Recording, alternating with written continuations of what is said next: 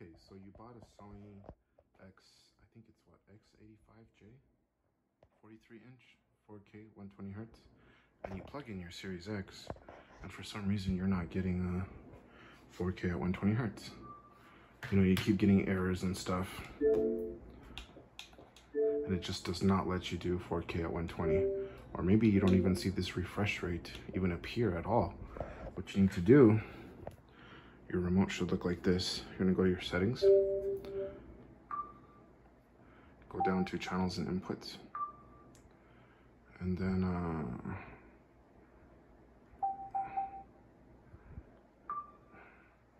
external device setup, go to manage inputs,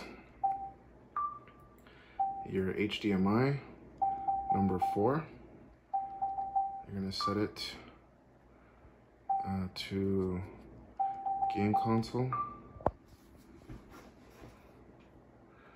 And then video, what is this? Oh, I don't know what that is.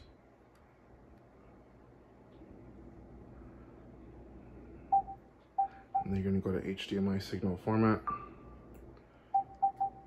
Here you're gonna choose uh, enhanced uh, format VRR.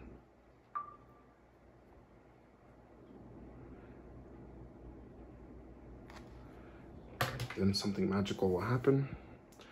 See if it works now. If not, we might need to do a restart.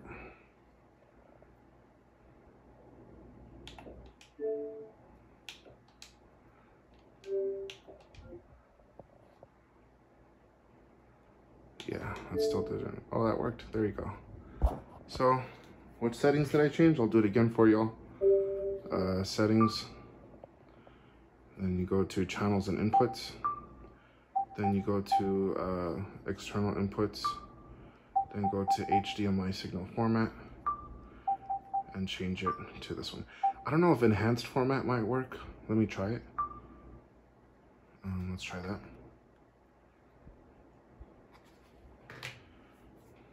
There we go. Looks like that works too. And just to test it, let me do a restart. Let me full shut down. Let me also power down my television. Just want to be 100% sure. Because I was tripping out for a bit. I was like, oh my gosh, like, I bought this TV. I thought I was going to be able to do these specs. It's not. It's giving me a hard time. I don't know if it was the Xbox or the TV, but sometimes you just got to mess around with the settings. So my Xbox is completely powered off as well as my television. I'm going to power on my television first.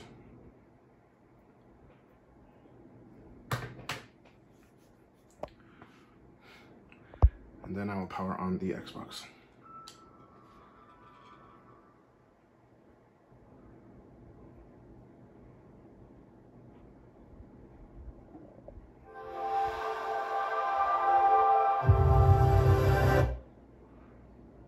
Okay, just cut me off like that. That's cool, bro. All right, so there is my menu. Let's go into the settings. There we go, 4K 120. So it does work. Hope you guys liked the video.